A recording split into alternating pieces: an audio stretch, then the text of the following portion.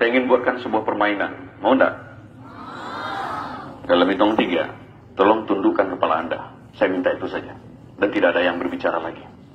Sebentar saja. Setuju? Satu, dua, tiga. Tundukkan kepala Anda. Berhenti Anda ngobrol, berhenti yang Anda ngomong dengan orang di sebelah Anda. Sejenak saja, sebentar saja. Hari ini saya ingin Anda menghadirkan wajah perempuan mulia bernama Bunda, bernama Ibu, bernama Mama ke tempat ini sekarang. Wajah yang mungkin pagi tadi Anda tidak sempat mencium tangannya. Wajah yang pagi tadi mungkin Anda sempat membentaknya. Wajah yang pagi, yang malam tadi tanpa Anda sadari mengambil selimut yang jatuh ke lantai kemudian menyelimutkan Anda kembali dan membelai kepala Anda. Sembari berdoa pada Tuhan, ya Allah, tolong jaga anak saya ya Allah sambil sambil berdera air mata dia dia selimutkan anda dia belai wajah anda tanpa anda sadari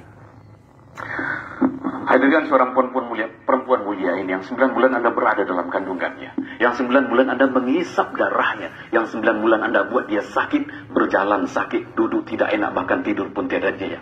Ketika akan melahirkan Anda, beliau harus bertaruh nyawa antara hidup dan mati. Darah, keringat, air mata bercampur menjadi satu mengeringi kelahiran Anda ke dunia.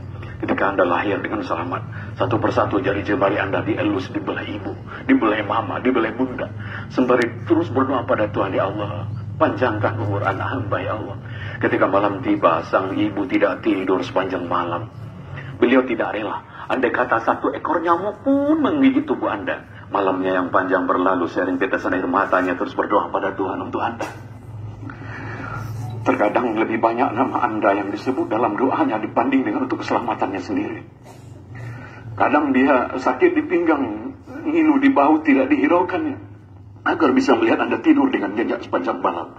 Ketika di penghujung malam Anda terbangun, Anda tahu siapa yang mengambil Anda. Anda tahu siapa yang menimang Anda. Sembari bacakan Anda salawat kecuali ibu Anda. Salatullah, meskipun penat di bawah, meskipun badan teruyung-uyung, meskipun ngantuk begitu berat, tapi yang sang anak dan itu adalah diri Anda terus ditimang sembah, sam sampai Anda kembali tertidur dengan nyenyak, sampai kembali diambilkan selimut yang hangat, tidurlah nak. Ketika pagi tiba, seorang bunda, seorang ibu bangga sekali mengenalkan Anda pada tetangga Anda. Bangga sekali, inilah anak saya. Inilah anak saya. Bangga sekali. Ketika dulu Anda sudah mulai makan nasi, Anda tahu siapa yang paling banyak menyuapi Anda. Anda tahu berapa butir, berapa ribu nasi yang sudah masuk ke mulut Anda. Dan Anda tahu, setiap suap nasi yang masuk ke mulut selalu ada doa. Ya Allah, sehatkan anak hamba, ya Allah. Panjangkan umurnya. Anda bisa sehat hari ini, bisa sampai ke sekolah hari ini. Itu karena doa-doa yang dipanjatkan ibu Anda bertahun-tahun yang lalu. Ketika Anda berjalan, mulai diajak berjalan. Selangkah dua langkah, di langkah keempat Anda terjatuh.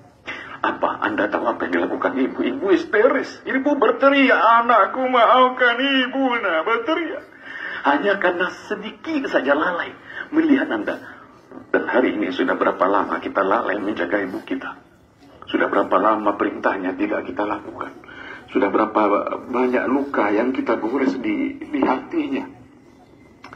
Kemudian ketika masuk usia sekolah, mudah-mudahan Anda masih bisa mengingat itu. Mudah-mudahan masih segar dalam ingatan Anda. Ketika dulu akan masuk SD, akan masuk sekolah. Seorang pria bernama ayah, bernama papa, bernama bapak, atau apa pun panggilan kesayangan Anda pada pria hebat itu. Harus banting tulang siang dan malam. Pergi pagi, pulang malam. Terkadang dalam mencari nafkah buat Anda. Dia rela dihardik orang, dibentak orang. Terkadang agar Anda punya sepatu yang bagus seperti anak orang lain, punya seragam seperti anak orang lain, dia rela berhutang pada orang lain. Dia rela malu pada orang lain. Untuk apa? Agar anaknya yang didoakan siang dan malam bisa menjadi orang hidupnya, bisa menjadi sukses dalam hidupnya. Dan hari ini sudah berapa kali Anda melawan pada pria hebat itu? Sudah berapa kali Anda tidak melaksanakan perintahnya. Sudah berapa kali? Astagfirullahaladzim. Berbanyak istighfar anak-anak semua. Kita banyak dosa pada orang-orang hebat itu. Sebelum ada orang yang menancapkan bendera kuning tepat di depan rumah Anda.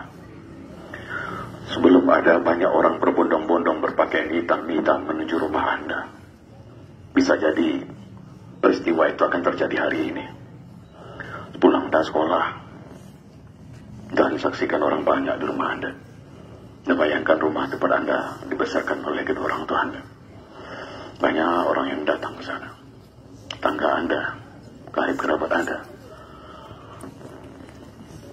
Dan bisa jadi di tengah rumah itu Anda tidak lagi disambut oleh sapaan lembut nak, udah pulang nak. Tapi bisa jadi siang ini Anda disambut di rumah oleh sesosok tubuh yang sudah kaku dingin membisu. Dan tubuh itu adalah ibu Anda.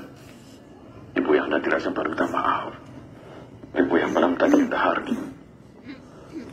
Anda buka tabir penutup wajahnya. Anda goncang-goncangkan tubuhnya. Anda panggil ibu mama. Tapi sudah dingin. Sudah kaku. Sebelum itu terjadi, maka yuk siapa pun hari ini ingin Allah muliakan hidupnya, ingin Allah sukseskan dalam karirnya, tolong muliakanlah kedua orang tua Anda. Ridallah walidal walidaini Masuhtul suhtil walidaini Tidak akan ada anak yang sukses dalam hidupnya Tanpa ridho kedua orang tua anda Maka kalau anda ingin sukses berhasil di MTSN 5 agam ini Ingin berhasil merapai, mencapai apa yang anda mimpikan Maka tolong rubahlah hidup anda hari ini dengan cara memuliakan kedua orang tua anda, insya Allah Tuhan Allah Subhanahu Wa Taala akan memuliakan anda. Assalamualaikum warahmatullahi wabarakatuh.